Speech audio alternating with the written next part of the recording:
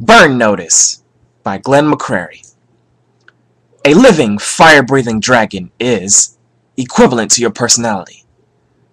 Treading across your path is a crucial threat to life expectancy. Unmercifully, you scorch any creature that catches your eye, staining your victims with emotions of deep guilt and regret.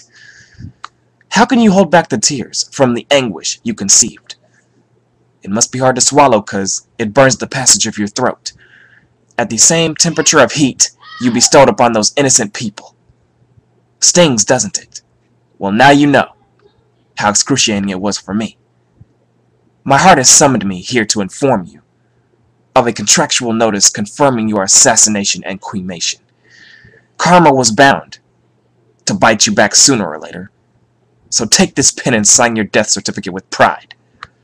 Be as brave as you were when you ruined the beauty of billions. Be as confident as you were when you drowned the human race in a sea of your chaotic arrogance. Enjoy your cremation. I hope you scream and suffer in streaming tears of well-deserved agony.